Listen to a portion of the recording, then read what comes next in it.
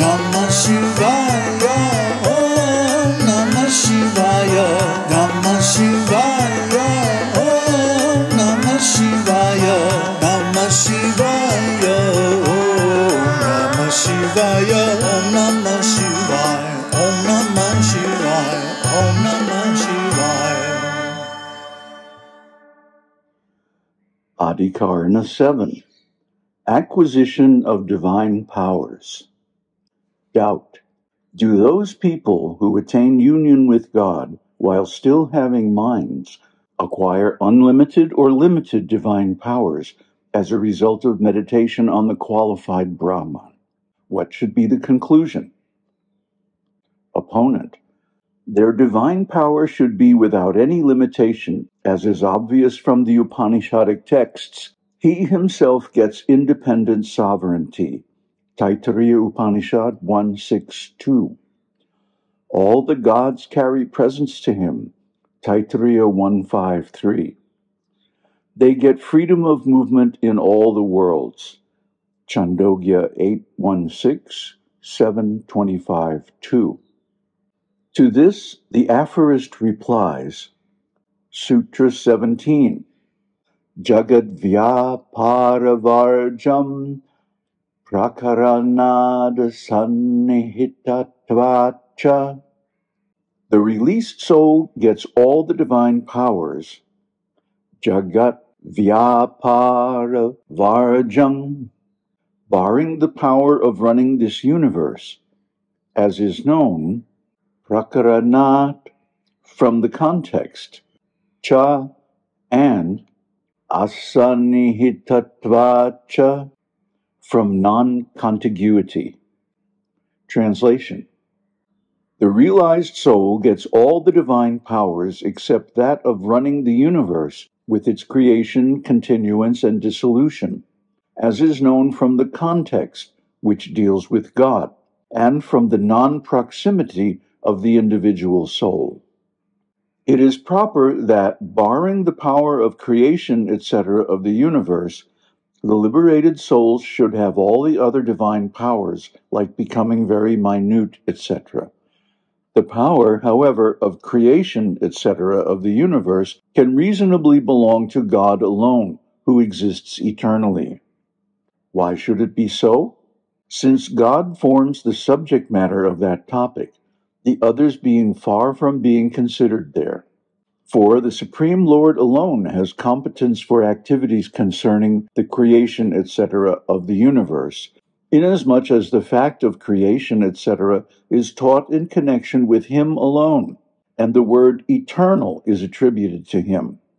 The Upanishads mention that others get the divine powers of becoming atomic in size, etc., as a result of search and hankering for knowing Him. Thus, they are remotely placed from the activities connected with creation, etc., of the universe. Moreover, from the very fact that the liberated souls are equipped with minds, they cannot have any unanimity, so that someone may at one time want the continuance of the universe and someone else its destruction. In this way, they may at times be opposed to one another. If then one should seek a reconciliation by making all the other wills dependent on one will only, then that reconciler will perforce arrive at the conclusion that all other wills are dependent on God's will alone. Sutra 18 Pratyakshopadeshaditi Chenadikarika Mandalastokte the powers of the liberated soul are unlimited. Pratyaksha Upadeshat, owing to direct scriptural declaration. Itichet, if this be the objection, then na, not so. Adhikarika mandalasta ukte, since it is the attainment of Him, that is, God, who appoints others as lords of the spheres and resides in those spheres that is spoken of. Translation If it be held that the powers of the liberated soul are unlimited owing to direct scriptural declaration, then it is not so, since it is the attainment of Him, that is, God, who appoints others as lords of the spheres and resides in those spheres that is spoken of in the Upanishad. The statement was made earlier that from such direct teaching as he himself gets independent sovereignty, Taittiriya 162, it is but reasonable to conclude that the liberated souls get unfettered divine powers. That has to be refuted. As to that, it is said that this is nothing damaging, since it is God appointing others to their respective spheres and himself residing in those spheres that is spoken of in the Upanishad. It is declared that this bestowing of independent sovereignty is at the disposal of God, who ordains others to be the rulers of particular spheres, and who resides in such special abodes as the orb of the sun.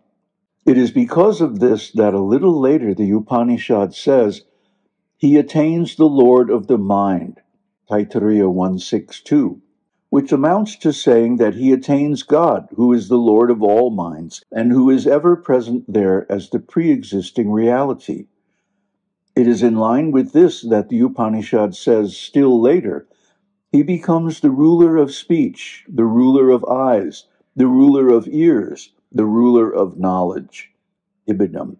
Thus, in other places also, the texts are to be construed as far as possible to mean that their divine powers are attained at the behest of God alone, who exists eternally.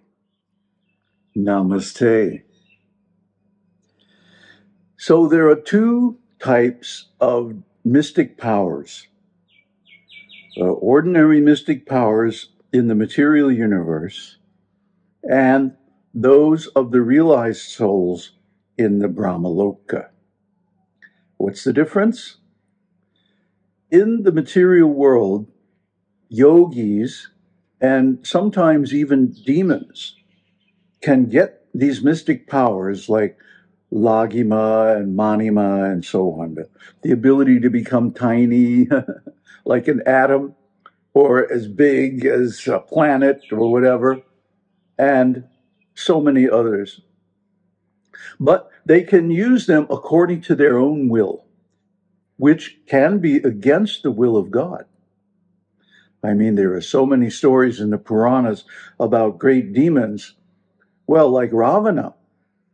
Ravana had extensive mystic powers granted by Shiva, but then he used them or misused them against Rama who is an incarnation. And of course, he was destroyed. So, this is the thing within the material universe, these powers also come at a cost.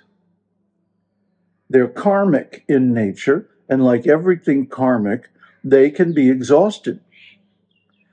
One gets, you know, a particular number of uses or a particular amount of use of a mystical power. And then when it's used up, it goes away. And there's a nice uh, story about, I think it was Karna in the uh, Mahabharata war, the Battle of Kurukshetra. He was cursed that when he most needs his mystic powers, that they will fail. And this is always the case, isn't it? we see demoniac people in the material world uh, that typically overextend their powers. And then, just when they're relying on their powers the most, they fail. They have developed confidence in those powers, and they're dependent on them to keep their position. So when the karma is used up, they become like ordinary people again, and so they can be defeated. But in the spiritual world, all these powers are in accordance with the will of God. How do we know this? Well, you don't get into the spiritual world unless your will is in accordance with the will of God, in harmony with the will of God. I mean, just imagine, you know, if you're a rich person and you have an exclusive club You're not going to let anybody in who doesn't agree with your views or with your style or whatever your criteria are.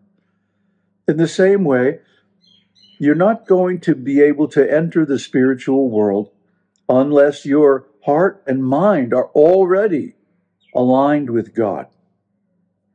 So, and, and of course, you also have to have developed love of God. So, there are so many criteria for entering the spiritual world. I mean, these are just preliminary. After that purification of the heart and so forth, then you have to realize Brahman. And those who try to realize Brahman without purification of the heart and mind fall down. They can't realize it.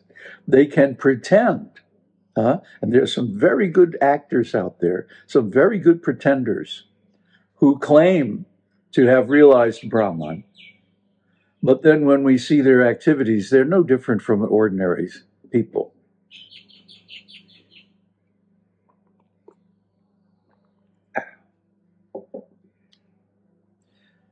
Oh, I could tell so many stories, but I won't because you know this from your own experience. You approach a person who advertises themselves as a holy man or a guru, and uh, from the outside, everything looks good. But then once you get close to them, you find out actually they're still engaging in mundane activities and so on, nasty activities.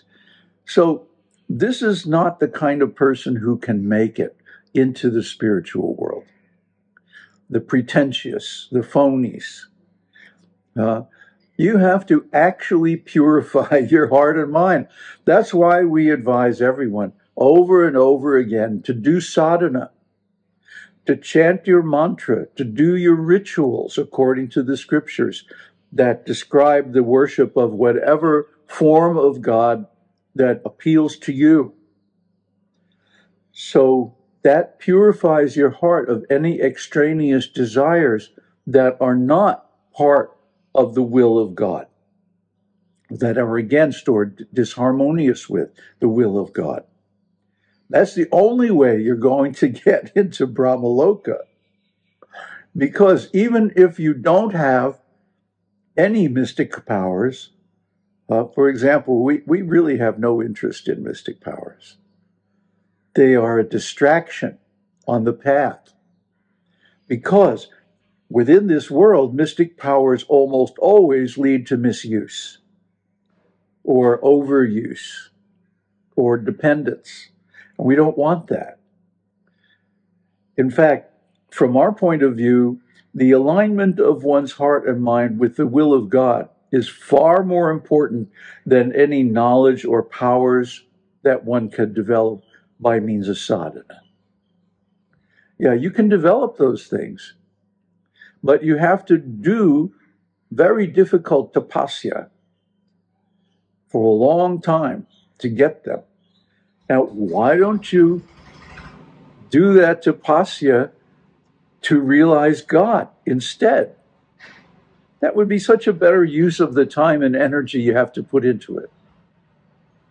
So, this is our message to everyone who wants to actually realize the truth. Don't get caught up in mystic powers or imposing your will on others or building any kind of structures in the material world, you know, whether physical structures or social structures or intellectual structures. You know, they might be a temporary help in some stages of the path. Like, it's very good to know ontology and be able to analyze the scriptures. And we'll talk about this in another video.